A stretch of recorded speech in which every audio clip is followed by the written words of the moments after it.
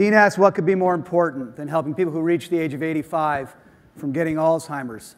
I would submit to you that maybe one thing that could be more important would be helping more people on our planet actually reach the age of 85. And to do that, the people on our planet need access to clean water. The current infrastructure for delivering clean water to the world is inefficient and ineffective. It has a high monetary cost and it has a high cost to our planet as well. People have long looked to the oceans to try to solve this problem, but ocean water is not drinkable. And as many brilliant people have discovered, the process of making the water from the oceans drinkable is complex, costly, and very difficult to achieve. Maybe we're looking in the wrong place. The earth is also covered with a secondary source of water that is already drinkable and already everywhere. Every community, large, small, rich, poor, is surrounded by clean, drinkable water, the water in our air.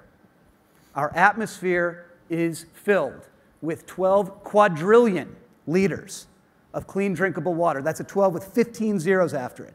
It only takes 1.5 liters to reach healthy hydration levels per person per day. This is water that is pre distributed and pre purified by nature, just waiting to be tapped by man. Our X Prize is called the Rainmaker. We want to give a $10 million prize to the team that can deliver clean water to the world with 50% of the cost and 50% of the carbon footprint of our current antiquated methods. Like many of the successful recent X Prizes, much of the technology to accomplish this already exists.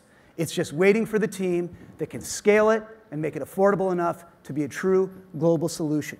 The winner will nourish the world by pulling water out of thin air because it's already there, the Rainmaker. Ooh.